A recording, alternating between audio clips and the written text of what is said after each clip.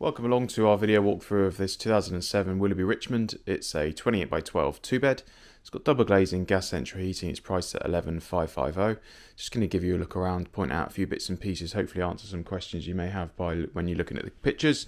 But if you've got any others, then please do reach out and let us know, and we'll obviously do what we can to help. So you join me here in this living room area, living dining area, where you can see we've got two fitted seating areas. One to the left hand side here with a freestanding dining table and stool uh, two stools actually, and then we've got one fitted on the right hand side here. As you can see, the upholstery's been recovered in probably the last year or two, I would say, um, judging by the condition of it. Um, it's definitely in a good condition and much better than uh, sort of the age of the caravan might suggest.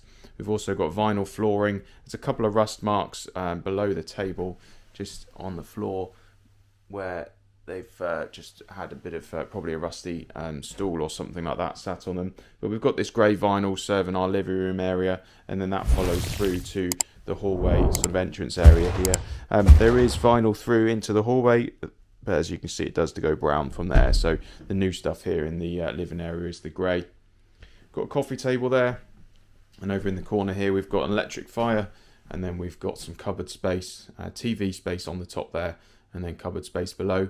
There's no curtains throughout the caravan, um, so there are pelmets around which would have been fitted, uh, which at the moment just have Velcro stuck to them, um, but there are no curtains fitted. That is something we could do potentially fit some cream or plain curtains in here if requested by the customer. Uh, obviously, we can just wait and see who buys it and uh, make a decision then electric fire as I say. Not sure if it was originally electric. I think it probably was. Looking at the sockets looks like an original socket. Um, so it's always had an electric fire I would say. So there's a space over on the right hand side there by the exterior door for an under counter fridge. There's just the one exterior door which comes in there as I said into that sort of entrance area. The kitchen itself decent enough space. Obviously it's all open plan. We've got those white cupboard doors um, and the sort of chrome coloured handles. Got a gas oven and grill and hob as usual and then we've got our kitchen sink and window. There are some uh, staining or bleached um, burn marks, I'd say, on the worktops, as you can see.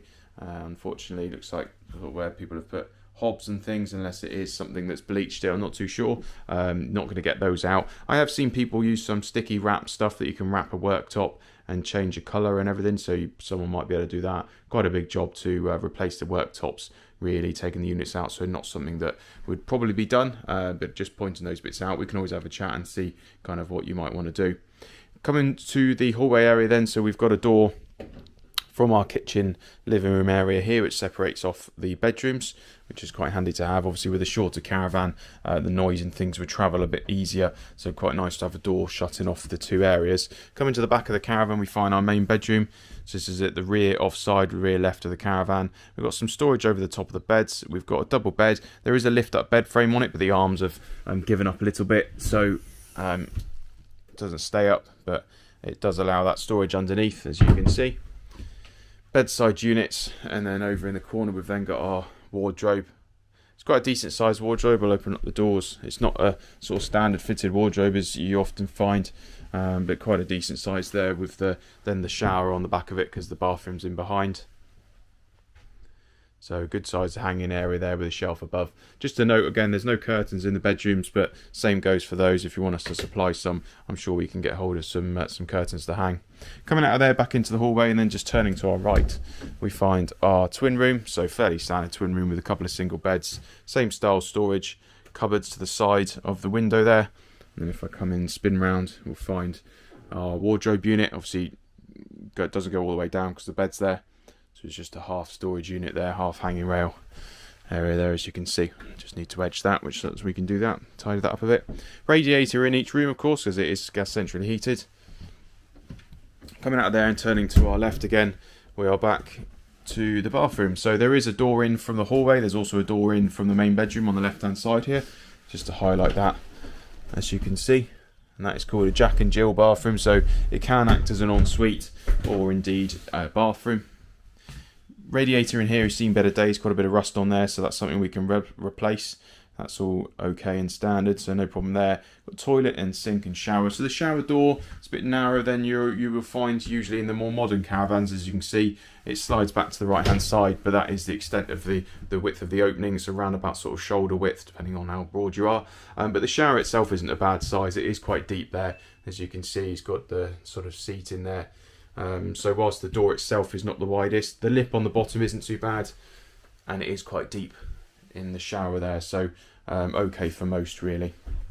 So that's our bathroom coming out of there. On our left hand side we do have our, our gas boiler there as you can see, our Morco boiler.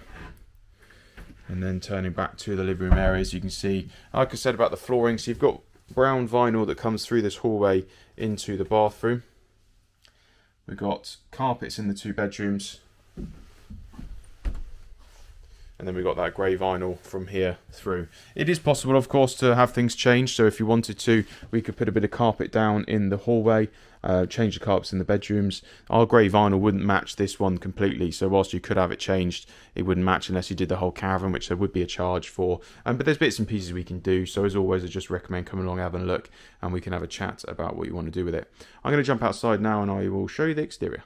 Just looking at the exterior of the Richmond then. As you can see, not looking too bad. We've got the double glazed windows. Bit of rust on the bolts around the front barge board is fairly standard. We've got panel to clip back in on the bottom there. On this non-door side, needs a little bit of a scrub off.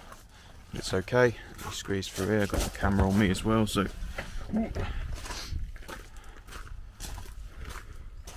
So not really any damage to worry about too much. There's a little bit of a scuff down on the panel there, but other than that, it's fairly clean.